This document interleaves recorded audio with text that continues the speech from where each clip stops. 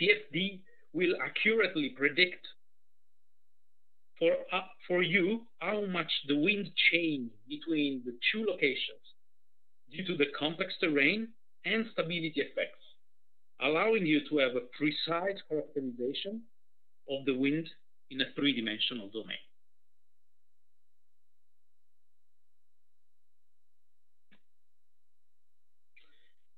We believe that solving the nonlinear transport equation for mass, momentum, and energy makes RANS, which here stands for Reynolds averaged Navier-Stokes, the best approach for simulation in complex terrain.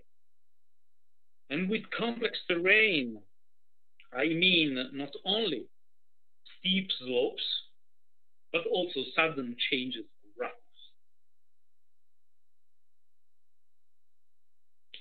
But does it work? Of course it works.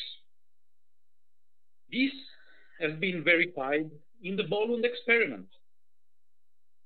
The Bolund experiment uh, was uh, an academic experiment designed by Risø DTU in Denmark, where this island in the picture, just outside their research facilities, has been instrumented with a massive amount of wind sensors and companies and research institutes have been invited to model the flow conditions over the island and submit the results.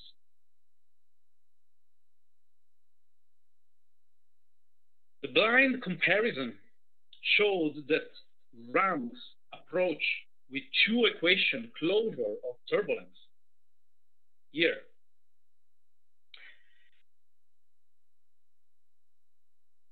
which is the one implemented in our software, was the most performing approach. And uh, at the same time, the blind experiment, the, the blind comparison highlighted that CFD approach with one equation turbulence closure and linearized models are limited in flow modeling over complex arrays.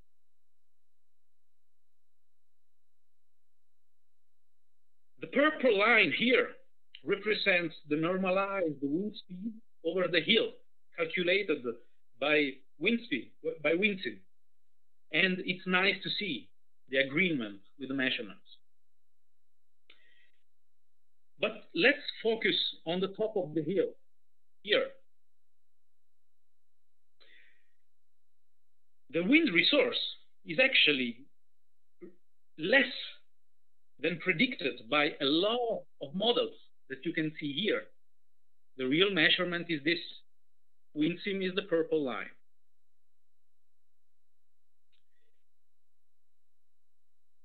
WindSim seems to get it right here. And uh, let's remember that an overestimation of the wind resource, even a little one, can bring devastating, devastating consequences in the cash flow and this is not something that happens on academic experiments, but can happen easily on a real life project.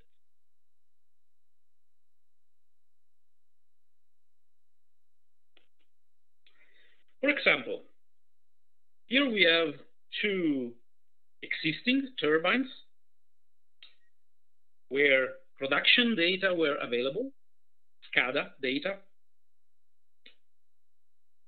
uh, the turbines are surrounded by complex terrain, but located at the same terrain height, which is around 800 meters above sea level. This same height could make us thinking that they will have the same production because they will be exposed to the same winds. If someone thought so, he didn't consider these little terrain features highlighted with the mouse here. This little terrain feature makes turbine number three, which was the, was the northmost, producing to 8% less than turbine number one when the wind is blowing from south southwest, which is one of the main wind direction of the site.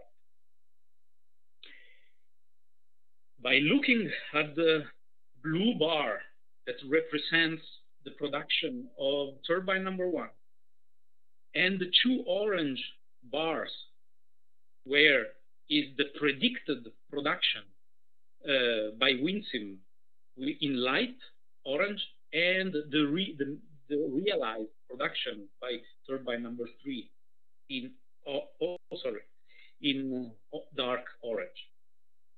By looking at this, uh, this validation case demonstrates that WindSim is able to correctly model such a behavior seen before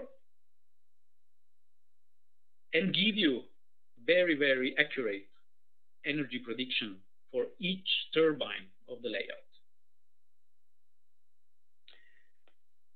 In order to demonstrate once more the accuracy of WindSim, uh,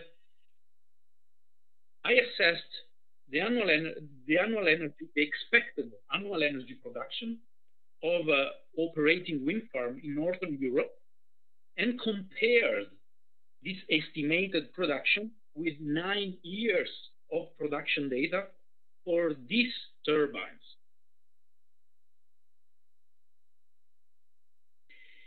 The wind condition measured at the MetMast available at the site, which was located here where my mouse is pointing,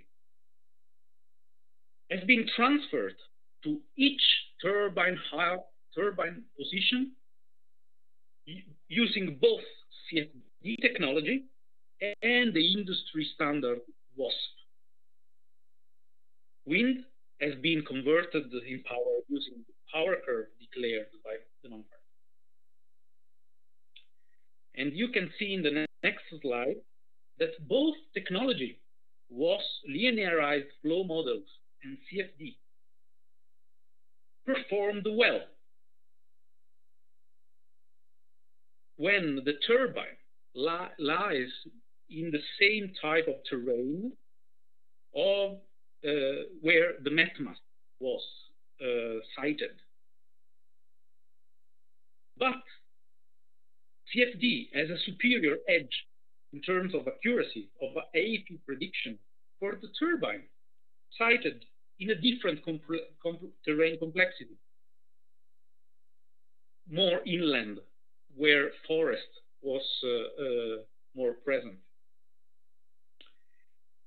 Since uh, the wind measurements were located near the coastal turbine, the challenge here was to keeping the error in energy production low when transferring the measured statistics more inland, where forest was uh, present. This was achieved by modeling the forest as a porous obstacle. WindSim gives the possibility to easily build a forest over areas of certain roughness, height, and assign to say the first cells, three cells above the ground, physical properties like variable height, porosity, and resistive force proportionally to the velocity square for extraction of momentum from the flow. This is a feature built in, in with. Uh, in the fields of uh, science and engineering, the accuracy of a, of a, of a model is the degree of closeness of, of measurement of a quantity that quant to the to the actual quantity that uh, uh, represent the true value. The precision of a measurement of a, of a model or, or, or, or a system in general, also call, called reproducibility or repeatability, is the degree to which repeated assessment under unchanged conditions show the same result. With the validation cases that I showed you previously, I try to demonstrate that energy yield prediction with WindSim are both accurate and precise.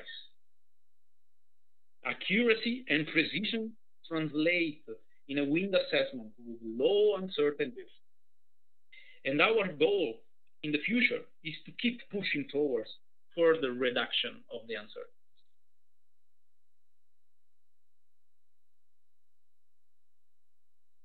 Since you can't improve what you can't measure, we developed in WindSim an automatic calculation of the cross prediction errors when two or more measurement points are available in the wind farm project.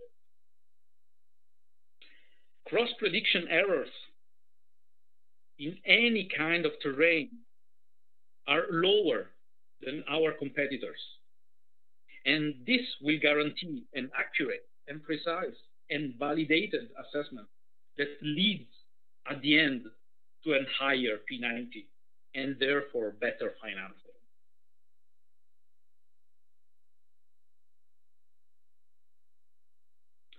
In order to understand uh, what more certain, more certain assessment means in terms of money, it's enough to bring up the example of a 40 megawatts wind farm project with uh, an 8 meters per second average wind, where the reduction of the uncertainties of just 3.3% points leads to an increase of a guaranteed revenue equal to 400,000 euro every year.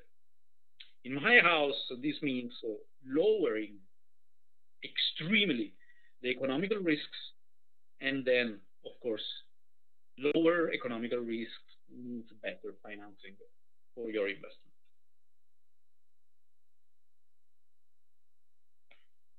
Of course, all I said is uh, all I said so far. Uh, it's true. If the turbines of your wind farm keeps delivering power during their entire lifetime without any severe damage or long outage, because that will make what I've talked about not true anymore. Our software solution is used by leading turbine manufacturers to back up their warranty terms. But the structural integrity should be a, of, the, of your investment should be a concern also of the investors. It's not the only the, the only job of the turbine manufacturer to demonstrate that your turbine will will keep being healthy, mechanically healthy during their lifetime. Luckily, CSD gives the capability to everyone that buys our software to verify that the wind conditions at the site are no more severe than those assumed for the design of the wind turbine, as stated in the IEC 61400-1 design requirements.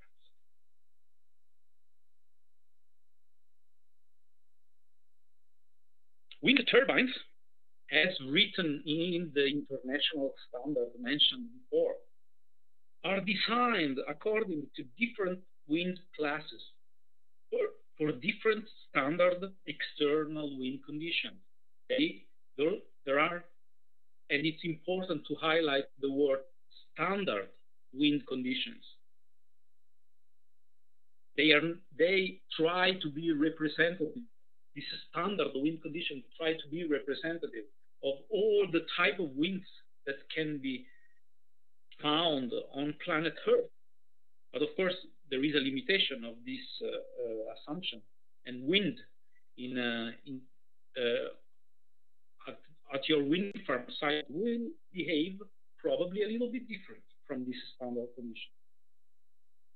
These standard conditions, these conditions must be checked at the site and verify to be lower than the one assumed in the load casings, in the load cases that were performed during the mechanical design. And this is the checklist of wind condition that must be checked.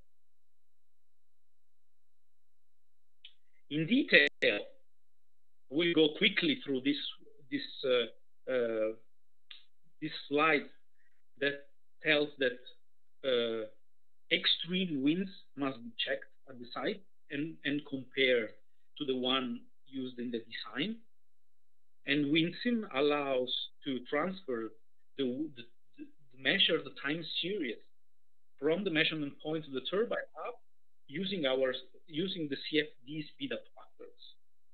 Then the extreme wind with a recurrence period of 50 years is calculated using uh, statistical methods.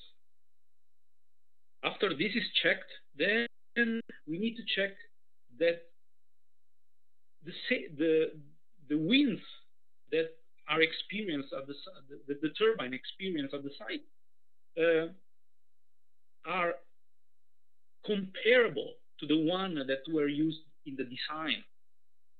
And this is done by comparing the probability density function at the site and comparing it with class 1, class 2, class, class 3 probability density function. The CFD allows to have accurate characterization of the probability density function at the turbine position. Vertical wind shear is another wind condition to be checked. Uh, the average vertical wind shear for all direction should be less than what's specified in the standard, and usually it's uh, 0.2, and then larger than zero. The CFD speed up factors allows the measure the time measured uh, wind conditions to be transferred vertically and horizontally to have also accurate characterization of the shear. After the shear, the inflow angle must be checked. And the shear must be checked, the maximum shear for all directions should be checked, and then verify that should be less than plus minus 8, which is used in the design of the machine. Uh, WindSim, since resolve the 3D wind vector over your site, allows to, through a very easy equation, to calculate this inflow. Turbulence, as well as the other wind condition mentioned previously, can have high variability over the wind farm site as demonstrated in these two pictures. Turbulence, or in this case, standard deviation of, of wind speed Uh, at the mast can have this kind of behavior, but it, at the same site, the wind turbine can experience this turbulence, which is exceeding highly the, the design conditions. This is why it's important to verify that the standard deviation of wind speed at the turbine position, including wake effects calculated in WindSim uh, using the Frandsen model, lies below the normal turbulence model used in the design of the mechanical components of the wind turbine. This, uh, the normal turbulence model uh, allows to very to design the mechanical components of the turbine in order that they don't break due to mechanical fatigue prematurely.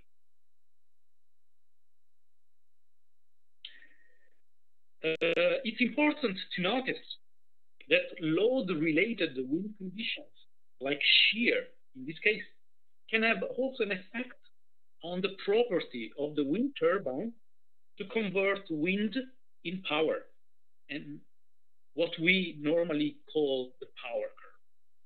For example, shear very different, a, a shear at the site very different from the shear that the turbine experienced during the power performance measurement test could lead to a different behavior when installed at the final site. There is a different uh, uh, energy flux over the rotor. This type of behavior goes to increase the uncertainty in power conversion of the turbine. When it's sited, when it's located, when the, the final site is located in complex terrain. Low, this is not related to uncertainties of wind assessment, but it's related to uncertainties of power conversion, which is part, one of the sources of uncertainty in a full wind resource assessment. And this is important to keep in mind. The same can be said for turbulence. The power conversion characteristic of a wind turbine may change up to a certain extent, also in function of the turbulence level experienced. Accurate assessment of shear, before, as I said before, and turbulence for every turbine position will also play the role of lowering the uncertainty in power conversion, which is one of the uncertainty sources of a complete wind resource assessment.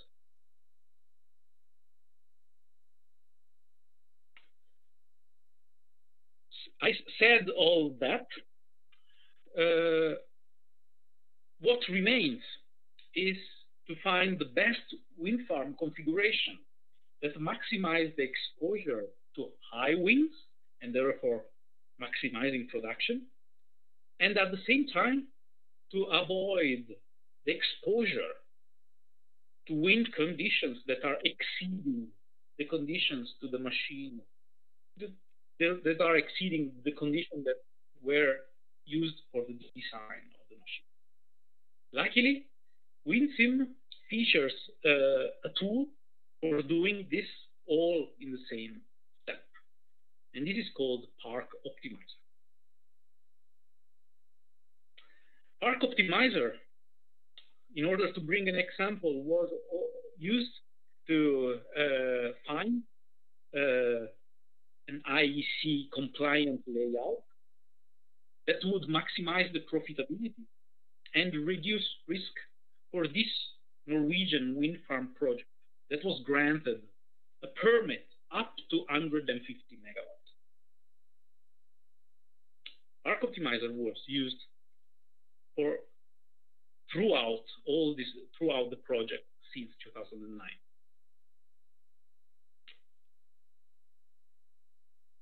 Park Optimizer reads as input the CFD wind field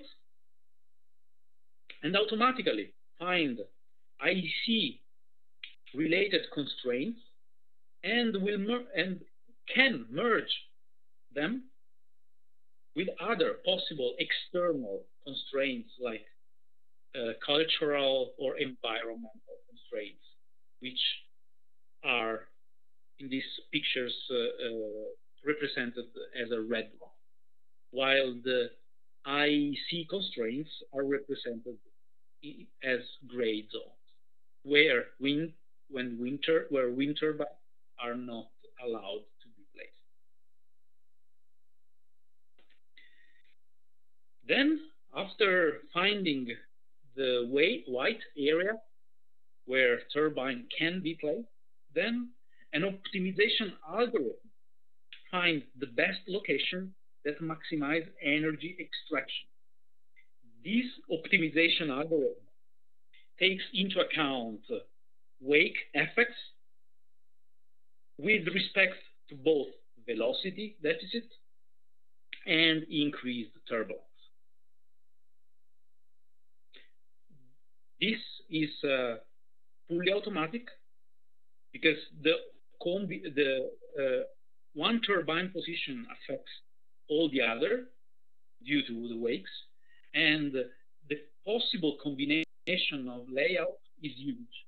Therefore, uh, a fully automatic procedure is needed for this uh, type of, very complicated problems.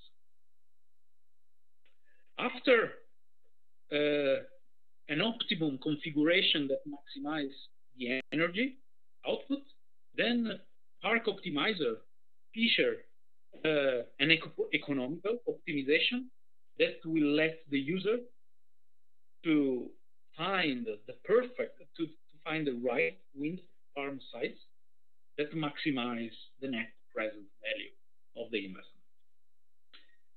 In this case, uh, actually, the, the, nor, the, the best number of turbines is uh, around 40, 45.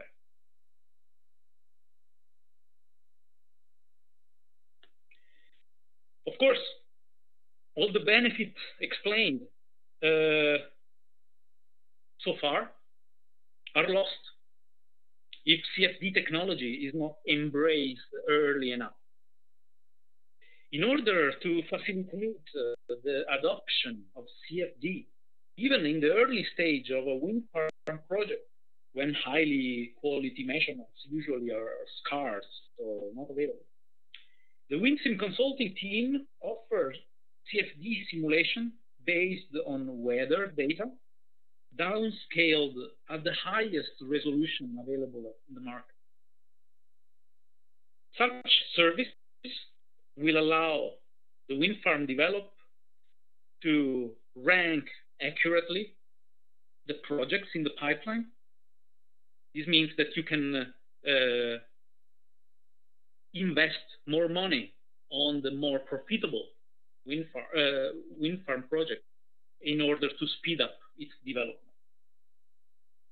Uh, having access to this service lower also the investment risk of a tall and well instrumented MetMast, which is always very needed for bankability of the wind farm project, and the tall hub height, uh, tall and well instrumented with very with calibrated uh, sensors will lower the uncertainty in wind measurement, which is another uncertainty source of a wind resource assessment study.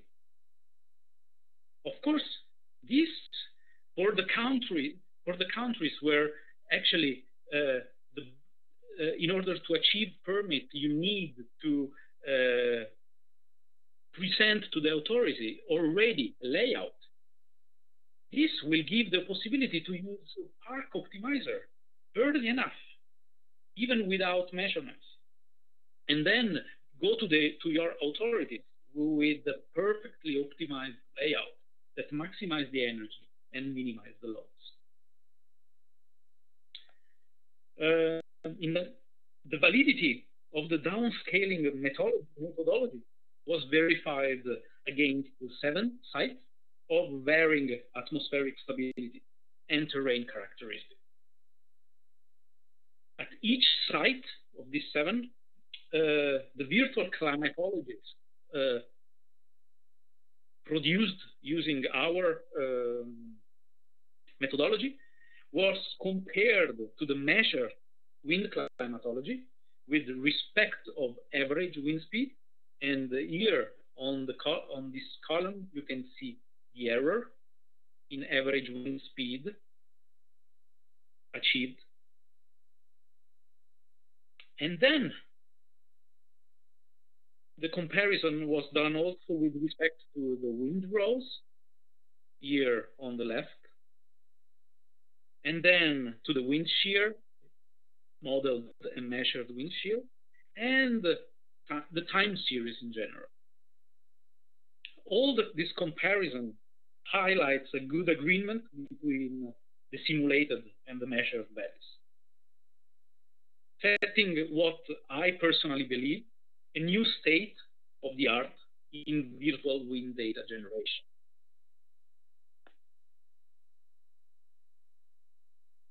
Accurate downscaling of weather data doesn't only bring value to the early pre-construction phase, but also after the wind farm is built. Wind power, due to its nature, is variable over time. And every wind farm owner must provide daily to the grid operator a production forecast. This production forecast will be used uh, to maintain the grid uh, stable.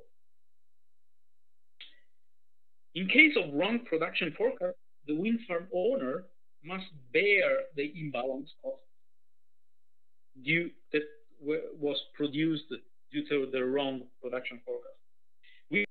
WindSim forecast, in this case, will allow you to minimize the operational costs and sec and secure your wind energy investment also in the operational phase.